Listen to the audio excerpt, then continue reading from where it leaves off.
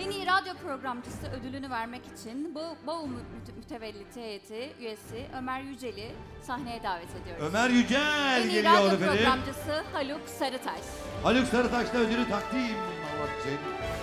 Sayın Yücel'den sahneye doğru yavaş yavaş geliyor. Gelemiyor sıkıştı. Saçları uzadı gelene kadar ve evet geliyor.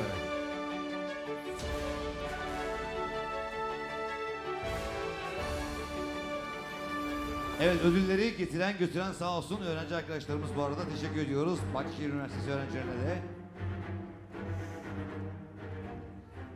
Bahçeşehir Üniversitesi'ne, Müzikonehir Özcan Beylan'a çok teşekkür ederim. Çok değerli bir ödül benim için. Aileme, sevdiklerime, dinleyicilerime çok teşekkür ediyorum. Çok sağ olun. Çok teşekkürler. Haluk teşekkürler.